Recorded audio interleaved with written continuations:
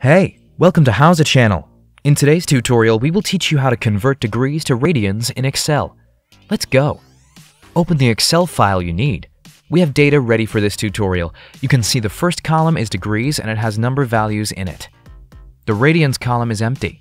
Now, we need to enter a formula. Click on the empty space in radians column, go to the top line and start typing the formula equals radians, open bracket B3, close bracket.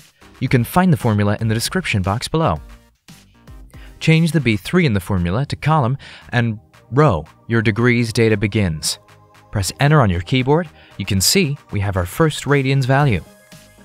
You don't have to type the formula in each cell. You can just pull down the corner of the first cell with a formula in it. It will automatically copy the formula and will convert the data. That's it.